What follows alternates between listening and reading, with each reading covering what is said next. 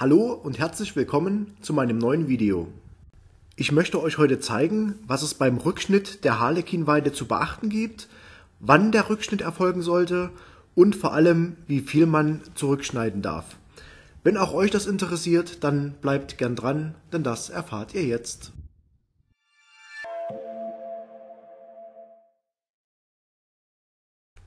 Bei uns im Garten habe ich eine japanische Zierweide, auch Harlekinweide genannt, als kleinen Hochstamm stehen. Das Bäumchen ist circa zweieinhalb Jahre alt und wird von mir zweimal im Jahr geschnitten. Hier unterscheidet man zwischen dem Pflegeschnitt, welcher circa im Juni erfolgen sollte, und dem Rückschnitt, welcher im Februar noch vor der Wachstumsphase durchgeführt werden sollte. In diesem Video soll es um den Rückschnitt im Februar gehen. Dazu sollte man sich einen frostfreien und bedeckten Tag aussuchen. Auch eine scharfe Gartenschere ist ein Vorteil, denn das schont die Schnittstellen. Zum Rückschnitt selbst ist zu sagen, dass wir relativ viel zurückschneiden werden. Von den Ästen werden am Ende ca. 10 bis 15 cm stehen gelassen. Das entspricht in etwa vier bis fünf Augen und idealerweise sollte auch immer direkt über einem Auge der Rückschnitt erfolgen.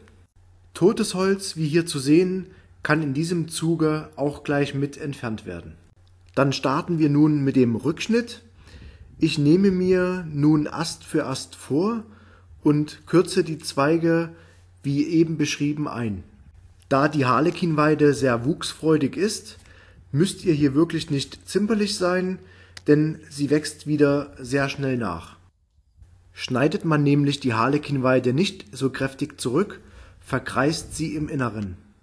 Durch den starken Rückschnitt kommt die Pflanze jedes Jahr mit jungen Trieben und einer sehr schönen Ausfärbung.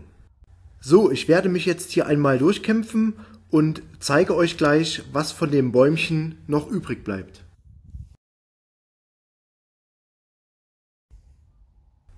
Wenn ihr, wie schon erwähnt, zwischendurch totes Holz entdeckt, dann könnt ihr das gleich mit herausschneiden. Ja, und so sieht das Stämmchen nun aus. Es sollte am Ende ungefähr eine Handballgröße überbleiben und jetzt kann die Harlekinweide wieder schön kräftig austreiben und buschig wachsen. Hier seht ihr nochmal den kompletten Rückschnitt.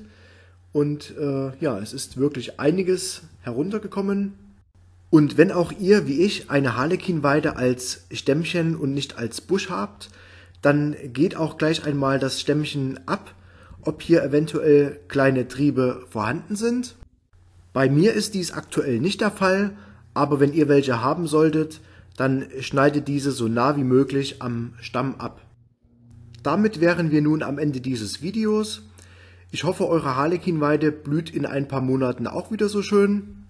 Und für alle, die es interessiert, wie der Pflegeschnitt im Juni durchzuführen ist und was es da zu beachten gibt, die sollten unbedingt meinen Kanal abonnieren und die Glocke betätigen, damit sie das nächste Video nicht verpassen. Ansonsten würde ich mich über einen Daumen nach oben freuen und hoffe, dass wir uns im nächsten Video wiedersehen. Bis dahin.